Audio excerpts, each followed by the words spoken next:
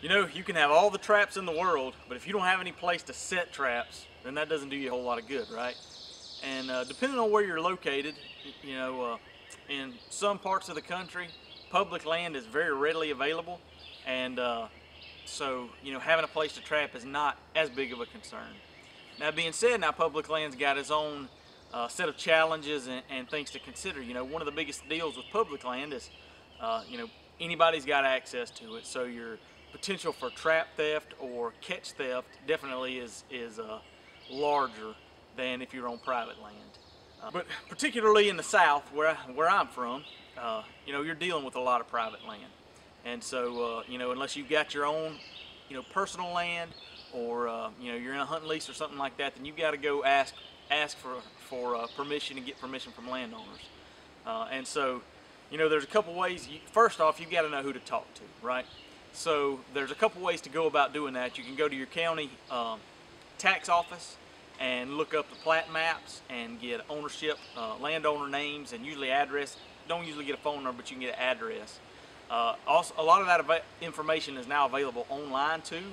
If you just search uh, your county um, and tax assessor website, so and so county tax assessor in Google, it'll pop up there uh, their website, and usually they have a, uh, a search feature. A lot of times it's through a, uh, a website called qpublic.net, but you can go through and, and uh, access landowner information through there. You can either search by street name, address, tract or parcel number, and uh, or map. So you can just find, take the map and, and scroll around, click on individual um, land holdings, and it'll it'll tell you the landowner and like I said, then you're going to get you know address. You're not going to get a you're not going to get a phone number. Uh, but you know that being said, in my experience, you know face-to-face contact is a lot better. You know if you if you go knock on somebody's door, you're a lot more likely to get permission than just calling somebody up. It's it's one thing. It's real easy to blow somebody off on the phone, but in person, if you present yourself and uh, you know you're not offensive, then uh, you know you have a lot better chance of, of getting permission. Uh, but we'll get to that in just a second. So you can do it online through Google, search for your county tax assessor's website. A lot of times that's through QPublic, but you can find it that way. And there's also some apps on your smartphone.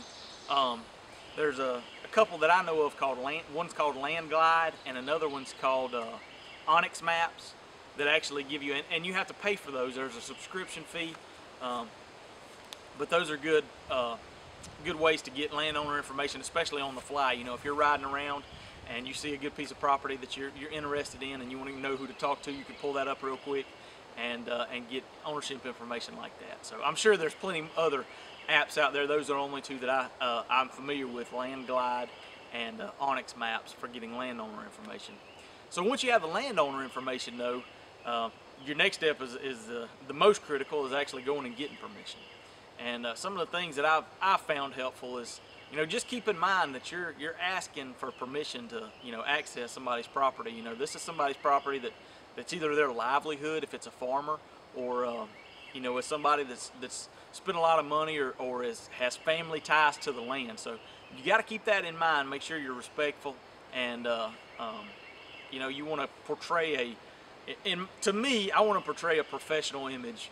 Uh, you know, if, if you give somebody the impression that you're some jackleg trapper that's just going to come in and, and uh, run amok on their property, then that's not the image that you want to set. So, so I like to approach, you know, I like to dress nice, not, not a suit and penny loafers, you know, but I like to have a collared shirt on, clean clothes, tucked in, um, you know, give a, first impressions, regardless of you know how things ought to be, first impressions are still what people are going to judge you by, right? If you come up there looking like a raggedy old trapper that just got done skinning a bunch of animals, then some people that may gain your credibility, but I wouldn't I wouldn't stick to that. That wouldn't be my plan of attack. So in my my from my perspective, I typically try to look very nice, look very professional. Not necessarily my truck super clean, but I don't want blood dripping down it. And I mean, that's just an overall public perspective. I want, I want it to, you know, my truck, my vehicle to look nice. I want, I want to be very presentable um, looking, and then just go knock on the door and uh, and, and be willing to spend some time there. You know, you're asking people for permission. Like I said, you're asking for uh, them to give up some responsibility and let you on their property. So you don't want to be there for five minutes, uh, yes or no, and then go on. You know, you got to be willing to take some time. Some people may be like that, but you know, my experience, especially when you encounter a, an older landowner, they like to sit and talk, you know, and, and maybe they don't talk to a lot of people on a regular basis. So, you know, if you've got 30 minutes, 30 minutes to an hour to sit there and talk and just, uh, you know, hear them out and explain something about yourself, then, uh, you know, that goes a long way because ultimately what you're doing, you're building a relationship with that landowner. And, uh, you know, you're wanting, I, presumably you're wanting to be access to that, that property for the next 10 years, not for the next two days. So building that relationship goes, definitely goes a long way. So make sure you got time to, to spend with that landowner and uh, you know get to know get to know them and make sure they get to know you, right? Um, and, another way that I like to approach is from from a professional aspect is I like to have a business card. So I like to I like to have something that I can hand them that's got my contact information, my name and phone number.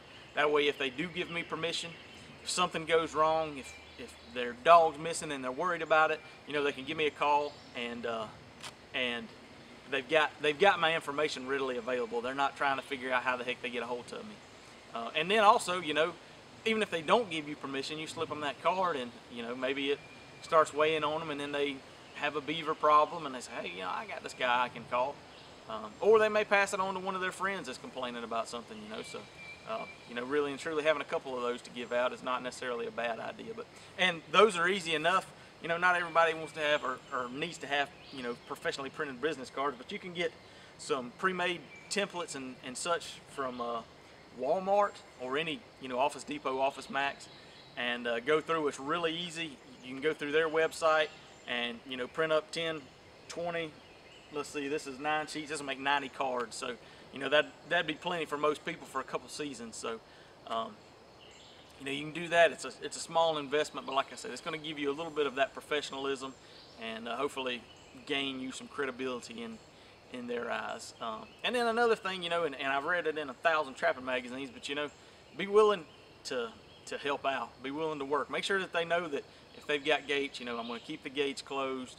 Um, you know, I'm going to respect your property. If you see them out there baling hay or or uh, you know working on a broke down tractor and you've got some time, whoop in there and, and offer to give them a hand. They may not take you up on it, but there again, that goes back to that relationship building and, and that uh, gaining credibility and, and uh, you know a little a little gesture like that can go a long way.